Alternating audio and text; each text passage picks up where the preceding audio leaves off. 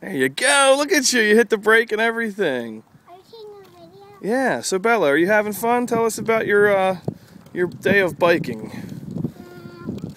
Well, Daddy got the shed out, and I wanted to, uh, I wanted to, uh, ride my bike, my purple bike. Your purple bike. mhm.